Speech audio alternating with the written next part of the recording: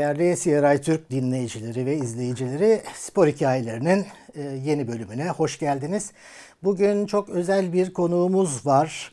Ee, özelliği şuradan geliyor. Türkiye'de bir ilki başarmış bir hanımefendiyle birlikteyiz. Ee, bir erkek takımında teknik direktörlük yapan ilk Türk kadını Sayın Özgür e, Gözü Açık bizlerle birlikte hoş geldiniz. Hoş bulduk merhaba.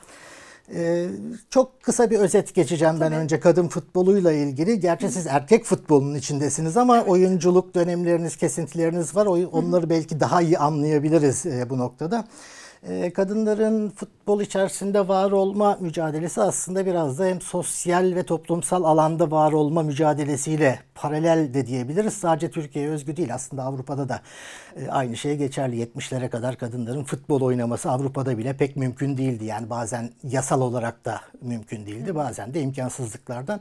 Türkiye bu anlamda aslında biraz da erken başlamış gibi ama sonradan geri kalmışız. Evet çok ee, sekteye uğradı. Yani 54'te çünkü ilk kayıtlar var. Ee, önce bir karma takımda 6 tane kadın futbolcunun oynadığı bir gösteri maçında. Daha sonra e, aynı yılın Temmuz ayında e, İzmir ve İstanbul karmalarının sırf kadınlardan oluşan bir, e, iki takımın karşılaştığı kayıtlar da var ama esas bunun medyada duyulması Dostluk Spor'la evet. başlıyor. O da Kınalıağa'da kökenli bir kulüp anladığım kadarıyla. 1973'te ilk Türk Kadın Spor Kulübü olarak da tescil ediliyor. Evet. E, ardından o zaman gösteri maçları yapılıyor. E, 74'te sanıyorum işte Filiz Spor e, kurulmuş ardından. E, ama gösteri maçı gibi yani lig maçlarından yani, lig önceleri evet bir lig yok. Liglerin ilk başlaması 1994 e, e, ve ilk şampiyon da Dinarsu. Hı hı. Fakat işte gerek federasyon ilgisizliği gerek mali imkansızlıklarla bir kısmı kapanıyor, e, işte yürütülemiyor e, kısacası ve e, son veriliyor 2003-2004 sezonunda. 2006-2007'de tekrardan başlıyor. 2014-15'te ee, de birincilik, ikincilik, üçüncülük, e, işte U13, 15, 17 takımları ligleri gibi hani daha profesyonel bir organizasyon şemasına evet, girdi. E, e, ulaşıyor. Sizin başlangıcınız işte ilkokul yıllarına dayanıyor. Yani imkansızlıklardan evet, futbol oynamak evet. aslında böyle değişik bir şey. Hani fazla bir şeye ihtiyaç olmadığından. Evet. Fakat futbolculuk hayatınız işte bu tip e, olaylar yüzünden çok sık kesintiye uğramış ve nihayetinde başka bir yere evrilip teknik direktörlüğe başlamışsınız. İlk başladığınız kulüp Kastamonu Cidespor. Evet. Yanlış bilmiyorum. Şimdi burada soracağım şu. E, sizinki cesaret. Yani e, erkekler kadın teknik direktör olup kadın takımında çalışmak başka bir şey. Hayır erkek takımı çalıştıracağım demek çok cesur bir hareket. Bu sizin tarafınız. Bir tarafı da bunun Cide Spor yönetimi. Yani e, büyük ihtimalle bütün kulüplerde gördüğümüz gibi hani erkeklerden oluşan bir yönetim kurulu aslında. E, Türkiye'de hiç denenmemiş bir durum ve bir kadını teknik direktör olarak takıma e, getiriyorlar. Nasıl bir ortam vardı? Nasıl insanlardan oluşuyordu da sizinle aynı cesareti gösterebilip ortak bir yola çıkabildiler? Cide Spor hem futbolculuk kariyerimde futbolla ilk adımım, ilk lisanslı e, olarak orada futbolla başlamam dolayısıyla bir de teknik direktörlüğe de ilk adımı o kulüpte atmamdan dolayı benim için çok değerli. E, aslında annemin memleketi. E, Kastamonluyuz ama annem Cideli ve e, babam da öğretmen olduğu için o bölgede öğretmenlik yaparken e, kadın futbol takımıyla tanıştım ben. Aslında sadece gösteri amaçlı kurulan bir takımdı. Yine az önce bahsettiğiniz gibi.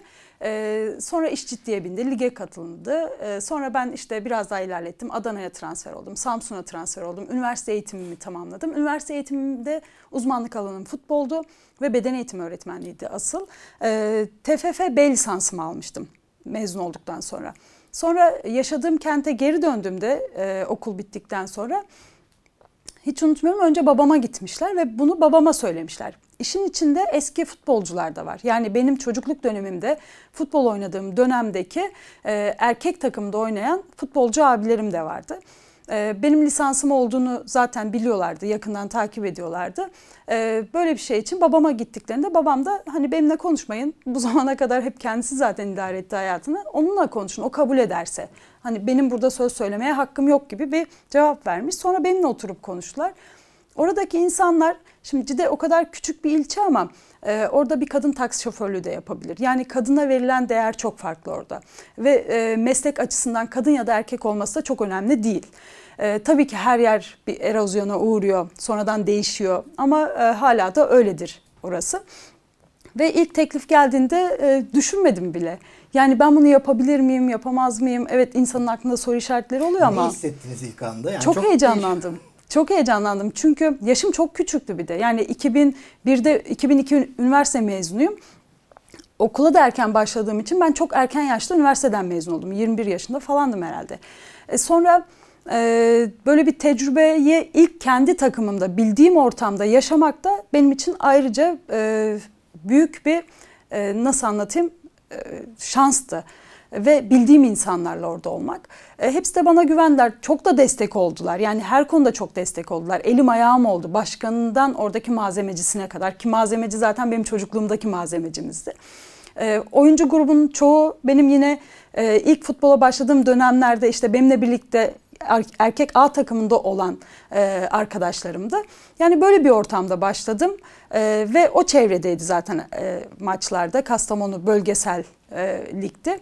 Ve e, çok da zorlanmadım açıkçası. Tabii ki zorluk çektiğim noktalar oldu. Ama bu takım içerisinde futbolcularla, yönetimle olan zorluklar değildi. Çevrenin de zorluğu yoktu. Çünkü benim maçlarıma e, Cide'deki tüm kadınlar gelip izliyordu. E, herkes için bir eğlence olmuştu aslında. Yani e, bir bahane olmuştu oraya gelip izlemek. O yüzden e, ilk başladığım takımda çok güzel bir atmosfer vardı diyebilirim. Medyanın bir ilgisi oldu mu da o dönem hiç? Çok yani bir günde 11 gazeteye falan çıktığım Ulusal biliyorum. gazeteler. Tabii tabii. Yani bütün gazeteler yüklenen de oldu aralarında. Ee, ama e, burada da tabii en büyük benim kılavuzum babamdı ee, ve hani nasıl hareket etmem gerektiği yönünde bana e, asla baskı yapmadan hani anlatırdı ve ona göre de aslında onun çizdiği yolda da ilerledim diyebilirim bir nebze ve e, kanallardan çok e, hani röportaj teklifi geldi çünkü e, Türkiye'de bir ilk olmuştu ve dünyada da bir ilkti hemen hemen. Yani bir kadının teknik direktör, A takımda teknik direktörlük yapması e, heyecanla karşılanmıştı. Sonra tabii bu böyle devam etti.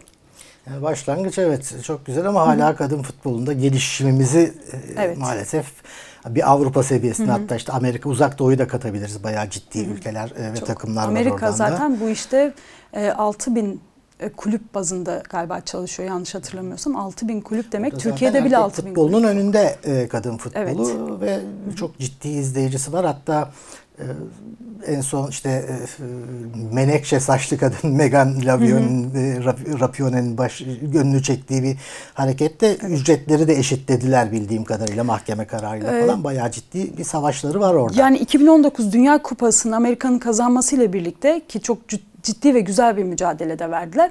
O dönemde 2019 Dünya Kupası'nda e, bazı e, ülkelerin kadın futbolcuları böyle e, gerçekten parmakla gösterdiğimiz futbolcular da e, kupaya katılmadılar kupadaki maçlara sırf bu nedenden dolayı. Yani dikkat çekebilmek için bir protestoydu bu. E, o dönemde e, Trump'ın işte kadın takımına olan e, zıt tavırları e, biraz da oradaki kadınları da tetikledi. Bir başarı olmadan sizin bir şey istemek hakkınız değile geldi olay ve e, Amerika Dünya Kupası'nı kazandı. Dördüncü kez yanlış hatırlamıyorsam. E, ve bundan sonra da e, tabii ki haklı olarak seslerini çıkartmaya başladılar. Şu anda e, hem profesyonellik açısından her ülkede kadın takımları profesyonel liglerde oynamıyor. Çok az. E, hem liglerin profesyonelleşmesi kadınların hayatında ücret eşitliğini sağlayacak diye düşünüyorum. Hem de onların attığı bu adım e, bir öncü adım oldu ve e, tüm aslında dünyada da bazı futbolcular bunun da üzerine gitmeye başladılar kadın futbolcular. Ee, burada şimdi kısa bir ara verelim. Ondan sonra bu amatörlük, profesyonellik Hı-hı. konusundan ikinci bölümümüze e, devam ederiz. Tamam. Kısa bir müzik arasına gidiyoruz. Az sonra tekrar birlikteyiz.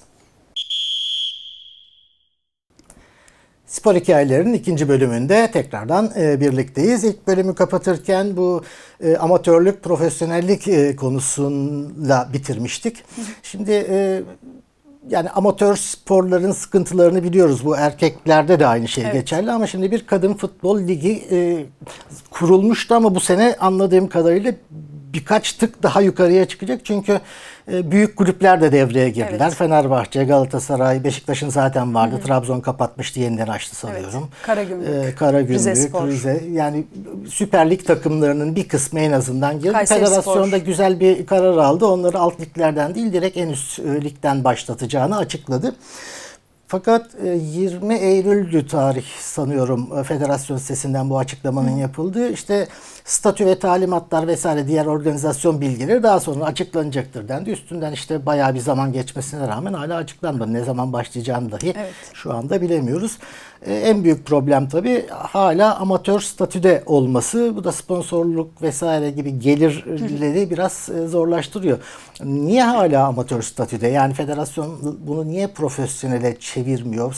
Yani kanun değişikliği falan bir şey mi gerekiyor? Yani yoksa- şöyle önce futbolun gelişmesi gerekiyor. Kadın futbolunun gelişmesi gerekiyor ve bu bahsettiğimiz kulüplerin dışında da kulüplerin desteklemesi, kadın şubelerini açması gerekiyor ki e, hem sponsorluklar anlamında kadın futboluna destek olunsun hem de e, bunun doğrultusunda da profesyonelleşme gerçekleşebilir. Ama öncelikle takım sayısının ve kalitesinin sanırım artmasını bekliyor federasyon. E, onun dışında Şimdi e, Süper Lig ekipleri Sivas Spor'da buna dahil oldu. Kayseri Spor'da dahil oldu kulüpleri açıyorlar ya da hazır kulüpleri satın alıyorlar. Ee, Samsun Spor mesela yine ikincilikte e, başlayacağını duyurdu.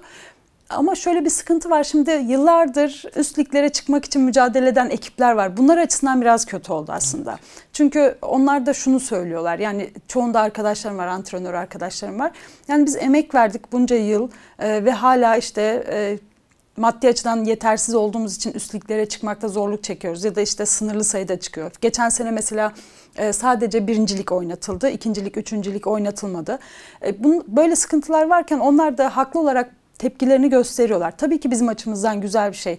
E, büyük kulüplerin adım atması Beşiktaş'ın öncülüğünde ki Trabzonspor'un yıllar önce vardı. Fenerbahçe tam benim futbol bıraktığım dönemlerde açmaya yeltendi, kapattı.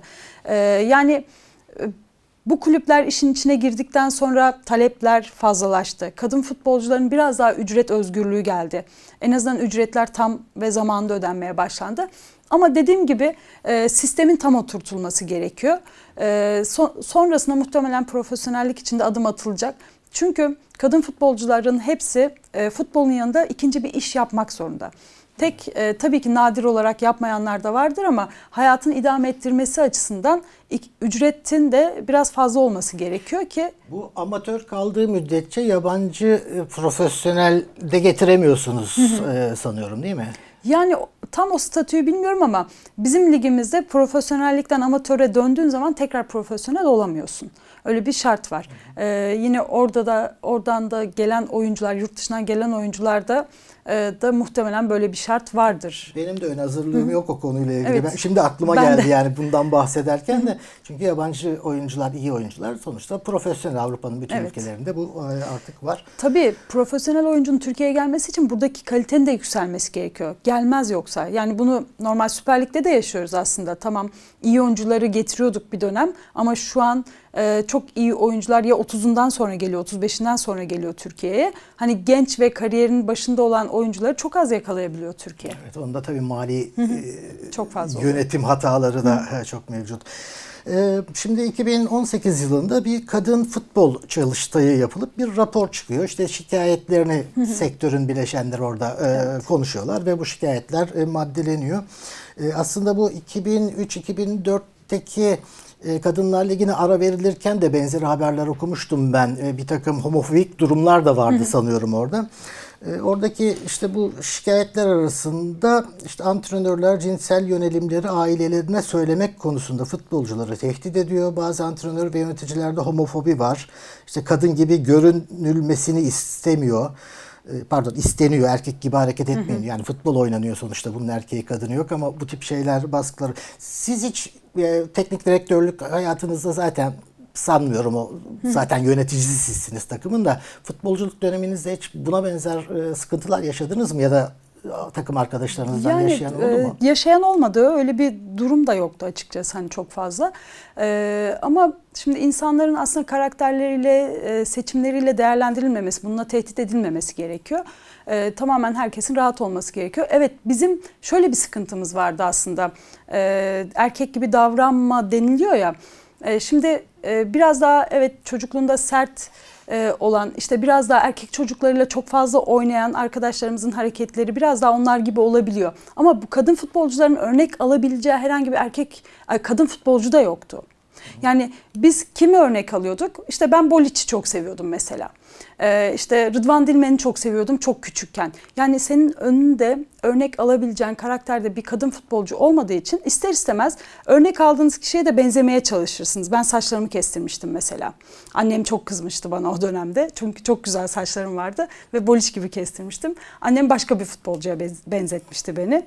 Ee, yani e, bu yönde baskıların olması tabii ki yanlış e, ama zamanla düzelecektir diye düşünüyorum ben. Gerçi yani erkek liglere benzememek aslında e, bir yerde de avantaj. Çünkü biz şimdi özellikle bizim ligimiz için geçerli Avrupa'da çok görmüyoruz ama işte e, en ufak bir faulde kurşun yemiş gibi yere atan kendiniz, evet. uzun süreler kalanlar falan var. Yani bu anlamda benzememesi kadın futbolcuların daha da iyi, daha akışkan, daha düzgün bir oyun Daha anlamında. kolektif evet. oynuyor kadınlar. Topun oyunda kalma süresi daha fazla. Evet daha belki e, sürat açısından, hız açısından daha yavaş olabilir ama bu da zamanla gelişecek. Çünkü e, antrenman şartları, antrenman tesisi, başlama yaşı, futbola başlama yaşı Türkiye'de çok geç. Yeni yeni alt e, işte ilkokul seviyelerine indi diyebiliriz. Yoksa Türkiye'de 13, 14, 15 yaşında başlıyordu ve bu yaşa kadar aslında kazanman gereken birçok e, şey var futbolda her branşta olduğu gibi. E, tabii bunların da etkileri var şu anda. Dediğim gibi kalite e, ne kadar yaşı indirebilirsek biz o kadar çok artacak. Yani başlama yaşı ne kadar inerse kalitede o kadar artacak ilerleyen yıllarda. Hemen ilk yıllarda da o kaliteyi bulmak da çok zor. E, geçen sene örneğin hani turnuva şeklinde e, birincilik oynatıldı. E, bir şampiyon çıkması gerekiyordu ve e, Avrupa Şampiyonası'na katılması için. E, ama orada tam hazırlık yapamadan giden kulüpler vardı. Çünkü tesisler açılmamıştı, yasak vardı. Çoğu e, antrenman yapacak saha bulamadı. E, kalite güzeldi. İzledik bütün maçları ki yorumladım da şampiyonluk maçını. Ama e, şöyle bir durum var. E, bir kere bunların da eşitliğinin sağlanması gerekiyor. Yani kadın kulüplerinin tesis anlamında da gelişmesi gerekiyor. Bu da işte az önce yine konuştuğumuz konuya geliyor. Süper Lig ekipleri, profesyonel kulüplerin e, kadın futboluna el atması gerekiyor. Doğru diyorsunuz. Yani zaman içinde gelişecektir. Hı. Çünkü bizde belki yavaş olabilir hala ama evet. biz yani daha gelişmiş ülkelerde mesela işte Almanların meşhur şu anda Hı. bıraktı. Birgit Pritz falan vardı. Evet. Ben o hani gelip de bizim Süper Lig takımlarından birinde oynasa sırıtmaz diyordum. Yani Hep, hem kuvveti hem çevikliği hem süratiyle. Kesinlikle. Müthişti. Hep işte. ismini unutuyorum. Japon bir kadın futbolcu var. Erkek takımda oynuyor mesela. Ha, onu ee, ismini unutuyorum hep. Ee, yani e, takip de ediyorum aslında. Erkek takımda oynuyor. Ee, tabii ki biz erkeklerle hiçbir zaman kıyaslamıyoruz kendimizi. Erkek kadar iyi oynarız ya da erkekler e, kötü oynuyor gibi bir şey değil. Herkesin fiziksel ayrılıkları var. Kadın ve erkeğin. E, sonuçta kaslarımız farklı. Yani e, kuvvet, e, onların doğuştan gelen kuvvetiyle bizimki aynı değil. E, sürat de aynı şekilde ama biz kadınlarla oynuyoruz. Bizim ligimizde kadınlar mücadele ediyor ve bu en iyisi olma çabasıyla yapılıyor. Yani bizim yarışımız aslında erkeklerle değil. Sadece bizim tek derdimiz futbolun bir spor olduğu. Bunun kadını, erkeği, çocuğu, yaşlısı olmayacağı. Bakın yaşlısı da, veteranlar da oynayabilir bunu. Yani herkes oynayabilir. Bu şey işin oyun kısmı ama. Evet. Teknik direktörlük kısmında erkeklerde rekabete gayet rahat girebiliyorsunuz ki Tabii ben ki. daha da başarılı olabileceğini düşünüyorum kadınların çünkü daha analitik bir düşünce evet. yapısı var kadın. Erkekler biraz daha düz e, düşünüyor bu konularda o anlamda. Futbolculukta da öyle aslında. Tabii tabii. Yani erkekler daha böyle e, farklılar kadınlardan. Daha kestirmeden sonuca gitmek Kesinlikle. istiyorlar. Kadınlar biraz daha komplike e, bakabiliyor olaya. Evet. Bu anlamda hani on numara denen o oyun saha görüşü e, falan bence kadınlardan Teknik daha fazla de, çıkabilir. Teknik de çok iyi kadınlarda mesela. Yani e, erkeklerde şimdi gir, girmeyeyim diyorum ama dün işte Fenerbahçe Alanya Spor maçını izledik. Yani 40'a yakın orta ve isabet oranı çok az. Evet. Kadınlarda böyle değil. İşte inşallah ligimiz bir e, hareket alsın. İnşallah yayıncısı da olur ki olmazsa da gidip yerinde izlemeyi e, evet. çalışacağız mutlaka. E, işte bütün bunları göreceğiz. E, kısa bir ara daha verelim o zaman. E, ondan sonra üçüncü bölümde tekrardan birlikteyiz. Spor hikayelerinin üçüncü bölümünde e, yeniden birlikteyiz. Şimdi teknik direktörlük e, futbolculuktan daha zor. O kesin futbolcuysanız çünkü sahada işte aldığınız direktifleri uygulamakla e, mükellefsiniz. Yaptınız, yapamadınız ayrı konu. Ama teknik direktör bir takımın e, uyuması, kalkması, oturması, yemesi, içmesi neredeyse her şey. Özellikle amatörlerde hani evet. hani üst seviye takımların ayrı departmanları olabilir ama amatörlerde Hı. daha da zor olduğunu düşünüyorum. E, ve hep şey söylenir yani oyuncuların kalitesinden daha da önemlisi bir takım haline gelebilmeleri. Evet. Şimdi nasıl takım haline gelebilirler? Özellikle üst düzey takımlar için yani belli çok ciddi rakamlar alıyorlar. Profesyonel olarak işleri de bu. Yani o işi doğru yapmakla mükellef. Takım olsa ya da olmasa ne fark eder aslında bu anlamda? Yani şöyle takım olmak aslında beraber hareket edebilmek. Ee, eğer beraber hareket edebiliyorsanız başarı da bunun doğrultusunda geliyor. Çünkü bizim en korktuğumuz şey takım içerisinde ayrı gruplaşmalardır. Böyle gruplaşmalar olduğu zaman o takımda e, muhtemelen e, başarısızlık da gelir. Çünkü ne oluyor? Saha içinde pas mı vermiyorlar ya da yani bir şöyle ben sizinle çok yakınsam ben sizin 11'de aslında oynamanızı istiyorum ve sizin hak ettiğinizi düşünüyorum. Ee, diğer arkadaşıma e, antrenmanda mesela pas vermeyebiliyorum. Yani böyle durumlar da giriyor işin içine. Orada bir kere şu olgun yerleşmesi gerekiyor. Sahada kim olursa olsun biz bir takımız ve başarı hepimizin başarısı. Ee, bunun içinde mücadele etmemiz gerekiyor. Sonradan giren, oyuna dahil olan oyuncu da bunun içerisinde, malzemeci de bunun içerisinde. Orada işte otobüs şoförü de bunun içerisinde. O yüzden e, ilk önce sporcuya bunu bunun öğretilmesi lazım. Bu da tabii ki aslında hani biz yine geç kaldık diyeceğim ama altyapılardan başlaması gereken bir e, tavır, davranış. Bunun yerleştirilmesi gerekiyor antrenörler tarafından. E, bireysel değil, oyuncunun evet bireysel gelişimi çok önemli ama takıma olan faydası. Biz hep şunu söyleriz. E, rakip kale önüne gittiğinde bencil olma, arkadaşına ver pası. İşte gol atmak değil, attırmak daha kıymetli gibi. E, bu yüzden bir takımda arkadaşlık varsa, beraberlik, birlik varsa o takımda başarı oranı daha fazla oluyor. Ee, geçen sene Beşiktaş'ta mesela biz bunu çok fazla gördük. Takımın kenetlenmesi, beraber hareket edebilme, 10 kişiyken bile mücadele edebilme. Ee, bir arkadaşın çıktıysa onun yerine iki kişinin iki kişilik koşma e, bu takım olduğunu anlamına gelir. Bunu nasıl sağlayabiliyorsunuz? Bunu da e, beraber işte e, şimdi amatörlerde daha farklı tabii ki ama Profesyonel kulüplerde işte beraber bir yemeğe gitme olabilir. Beraber vakit geçirme. Tesislerde beraber vakit geçirme süresini çoğaltma. Ee, yani antrenmanını yaptın bitti git değil. Ama burada hani birbirinden hoşlanmıyorsa bir, birileri o birlikte çok vakit geçirme daha fazla gerilinme de yol açıyor. Ya çok zor bir iş aslında. Evet, Gerçekten çok, zor bir iş. uğraşmak çok zor bir kere. Yani dışarıdan biz böyle işte o topa vuramadı şöyle böyle eleştiriyoruz bazen ama hakikaten evet. zor bir iş. Yani e, tabii ki şimdi Orada da işte profesyonelliğin devreye girmesi gerekiyor. Ben burada varoluş sebebim futbol oynamak. Ee, takıma, taraftara olan bir borcum var. Ee, başarı borcum var. Ve bu başarının karşılığında ben de bir ücret alıyorum. Yani bu benim işim. İşim olduğu zaman da duygularımı çok fazla bu işin içine bireysel ilişkilerde katmamam gerekiyor. Yani onunla bir problemim olabilir ama bu saha içine yansımaması gerekiyor. Antrenmana yansımaması gerekiyor. Evet sosyal hayatımda çok görüşmek istemiyorum. Kafası, düşüncesi, e, seçimleri beni e, nasıl anlatayım? çok memnun etmiyor diyebilir oyuncu. Ama orada takıma o sahadan içeri girdiğin anda her şeyi bir kenara koyman gerekiyor e, saha içerisinde bir şeyler de yaşayabilirsin. Onu da sahadan çıktıktan sonra kenara koyman gerekiyor. Bunlar çok önemli. Yani saha içerisinde tartışabilir oyuncu. E, tabii ki şiddet asla böyle bir şey e, istemiyoruz. Ama orada bir pozisyondan dolayı birbirine kızabilir. E, niye gelmedin, niye koşmadın diye kızabilir. Daha da ciddiye gidebilir iş. Ama oradan çıktıktan sonra normale dönmesi gerekiyor. Tabii ki kişilik haklarına saldırıdan bahsetmiyorum evet, burada. Evet.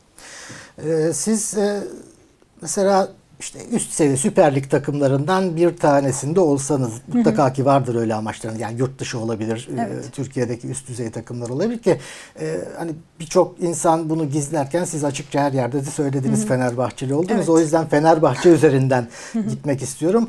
Bu e, yanlış anlaşılmasın. Yani Fenerbahçe'nin başındaki teknik direktöre bir saygısızlık Asla. anlamında değil. Yani herkesin futbola bakışı ve e, nasıl yöneteceği, nasıl oynatmak istediği ayrıdır. Biz şimdi apayrı, şimdi Fenerbahçe'nin yeni sezon yapılandı. Elinde bu oyuncular var ve sizi teknik direktör aldı. Mesela ne tarz bir oyun e, planlardınız? Nasıl bir e, şey formüle edebilirdiniz? Ya da bugünkü oynanan sistemi de tabii işin içine isterseniz katabilirsiniz. E, Biraz da bunu konuşalım. Ya aslında şöyle Şimdi Euro 2020'de e, birçok takım üçlü sistemle oynadı ve bu bizim çok hoşumuza gitti. Mesela benim en beğendiğim takımlardan bir tanesi gruptan çıkamadı ama Macaristan'dı. Üçlü sistemi çok iyi oynayan takımlardan, ekiplerden bir tanesiydi. E, Şimdi burada birçok teknik direktör aslında e, Euro 2020'den sonra Türkiye'de bunu denemek istedi. Hatta biz bunun konuşmasını da yaptık. Yani mutlaka esinlenen, işte elindeki oyuncuları tartan, buna göre oyuncu transfer etmek isteyenler de olacaktır. Çünkü zevkli bir futbol. İtalya çok e, güzel bir futbol oynuyor. Ama bunu oturtmak zaman ister. E, oyuncunun kalitesiyle, karakteriyle de alakası vardır. Yapısıyla da alakası vardır. Şimdi Pereira böyle bir sisteme başlattı ki Macaristan'ın da zaten üçlü defansına Atilla gibi Aa, bir oyuncu oynuyor. Orada da çok başarılı. Burada da e, bence yani sistemde çok sorun yok. E, sistem işliyor da. Ne yapıyor? E, kanat bekler. Yani bu sistemde üçlü sistemde ya öndeki e, iki ön libero e, stoperlerin arasına girer beşler orayı ya da kanat bekler işte geriye gelir ve orayı beşler destek verir savunmaya. Bunu yapabiliyor. Tabii ki savunmada eksik kalan yönleri var bu oyuncuların. E, ama şöyle bir durum var. Hedeflerden bir tanesi hücum futbolu oynamak, rakip sahaya kısa sürede gitmek e, ve atağı sonuçlandırmak. Fenerbahçe aslında rakip sahaya kadar çok rahat gidiyor ama atağı sonuçlandıramıyor bir türlü. Buna uygun oyuncusu mu yok? Yoksa işte e, orada çok mu panik yapıyor takım?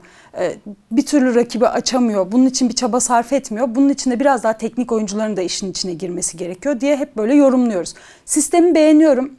Şu ana kadar da ligin başında aslında daha iyi oynadığını düşünüyorum Fenerbahçe'nin. Hani ben de evet bu bu sisteme yakın bir sistemle oynamak isterdim. E, bu sistem biraz ya bu 3-5-2 dönemi e, vakti zamanı için e, o Evet. zaman da söylenirdi. Aynı bunun için de geçerli. Sanki biraz ama antidemokratik bir yapı oluşuyor takım içinde. Ya bazı oyunculara bayağı ciddi bir yük biniyor. Evet. E, değil mi? Doğrusu doğru yani bu söylediğin. Özellikle işte o ka- kanat bekleri. Kanat beklerine. Bu, bu e, takım içinde sıkıntıları gerçi tabii profesyonellik başka bir şey. Ona göre seçilmiş oyuncular başka Evet. ama yine de bir e, sanki dengesizlik yaratabiliyor. Bir de teknik oyuncular dedik tek yani gerekiyor olabilir dediniz daha doğrusu.